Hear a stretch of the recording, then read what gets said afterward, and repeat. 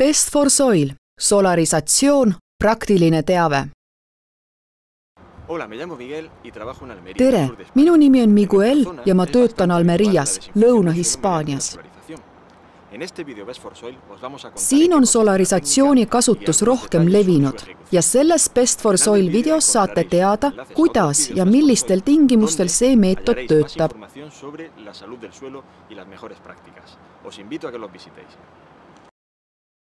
Mulla solarisatsioon on mulla desinfitseerimise meetod haiguste tõrjeks. nii on selle eesmärk enne istutamist vähendada pinnases leiduvat patogeeni inokulaati. lõppeesmärk on saavutada majanduslikult optimaalne haiguse vähenemine vähemalt üheks hooajaks. mulla solarisatsioon tähendab piisavalt niisutatud pinnase katmist läbipaistva ja õhukese polüetüleenist või spetsiaalse plastkilega vähemalt neljaks nädalaks ajal, kus on aasta kõrgeim temperatuur ja päikesekiirguse tase.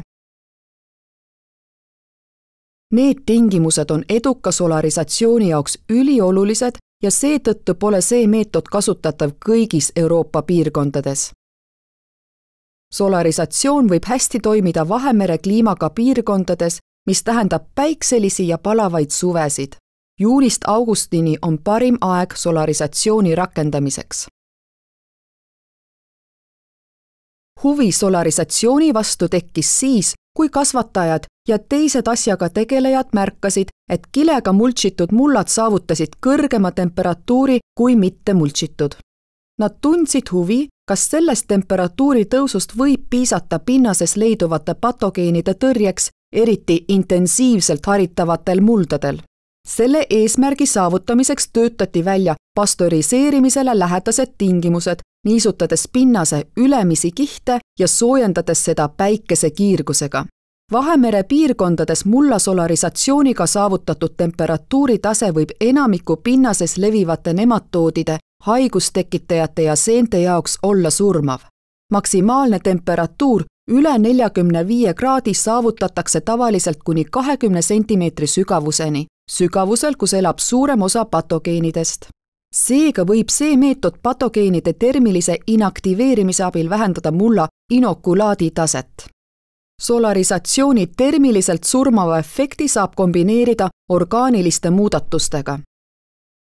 seda nimetatakse biosolarisatsiooniks ja see tähendab orgaanilise aine lisamist pinnasesse enne vee lisamist ja katmist kilemulčiga biosolarisatsioon ühendab solariseerimise eelised orgaaniliste ainete lagunemisega kaasnevate eelistega, mis tähendab patogeenidele surmavate bioühendite tootmist, mittepatogeensete mikroobikoosluste suurenemist ja muid mulla tervise ning väetamisega seotud kasutegureid. solarisatsiooni eelised on orgaaniliste muudatustega kombineeritult suuremad orgaanilise aine allikana võib kasutada loomasõnnikut, haljasväetist, põllukultuuride jääke või biofumigante. on palju positiivseid näiteid biosolarisatsiooni ja solarisatsiooniga tõhusalt tõrjutud mullas levivate patogeenide kohta. Nematoode ja seeni on põhjalikult uuritud nii laboris kui ka välikatsetes. mõned näited on nelgipatogeenne fusaarium, melon, tomat või kurk.